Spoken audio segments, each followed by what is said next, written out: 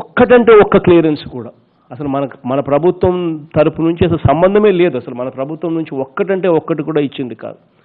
ఇవన్నీ కూడా గతంలో ఇంతకుముందు ప్రభుత్వం ఇంతకుముందు చంద్రబాబు నాయుడు గారు ఉన్నప్పుడు జరిగిన ఆయన ఆయన ఫస్ట్ నైన్టీన్ నైన్టీ సిక్స్లో ఆయన ఫస్ట్ ముఖ్యమంత్రిగా ఉన్నప్పుడు దగ్గర నుంచి ఆ టైంలో ఈ ఎల్జీ కెమికల్స్ అనే కంపెనీ టేక్ ఓవర్ చేయడం దగ్గర నుంచి మొదలు పెడితే రెండు వేల పదహైదులో వీళ్ళు ఇచ్చిన certificate consent for operation certificates అయితేనేమి కన్సెంట్ ఫర్ ఎస్టాబ్లిష్మెంట్ సర్టిఫికేట్స్ అయితేనేమి ఈ యూనిట్స్కి సంబంధించి రెన్యువల్స్ కానీ ఈ సిని యూనిట్స్కి సంబంధించి ఎక్స్పాన్షన్స్ కానీ అన్నీ కూడా ఆ ప్రభుత్వ హయాంలో వచ్చినటివి. మన ప్రభుత్వ హయాంలో వచ్చిన తర్వాత ఒక్కటంటే ఒక్కటి కూడా జరగలేదు.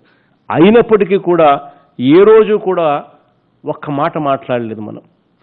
మీ అధికారంలో ఉన్నప్పుడు వా మీ అధికారంలో ఉన్నప్పుడు మీరే చేశారని చెప్పి వేలెత్తి చూపించడం కానీ ఇంకొకటి కానీ ఇంకొకటి కానీ ఎక్కడా కూడా ఒక మాట కూడా మాట్లాడలేదు.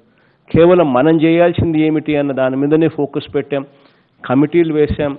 ఏది ఏది పద్ధతిగా జరగాలో అని చెప్పి ఆ పద్ధతి ప్రకారమే జరిగిచ్చే కార్యక్రమాలు చేశాం. వెంటనే సిఎస్ కూడా నాతో పాటు సిఎస్ను కూడా తీసుకొచ్చాను. సిఎస్ని అక్కడే మూడు రోజుల పాటు అక్కడే పెట్టాను. డీజీపీని కూడా మరుసటి రోజు నా దగ్గర నుంచి అక్కడే విశాఖపట్నంకి పంపించడం జరిగింది. వెంటనే అక్కడే కమిటీలు కూడా వేసి పూర్తిగా ఎక్కడా కూడా ఒకరిని మీద వేలెత్తి చూపించాలన్న తాపత్రయం కాకుండా చేస్తూ ఉన్నది కరెక్ట్గా చేస్తూ ఉన్నామా లేదా అన్న దాని మీదనే ధ్యాస పెట్టి పూర్తిగా చర్యలు తీసుకోవడం జరిగింది.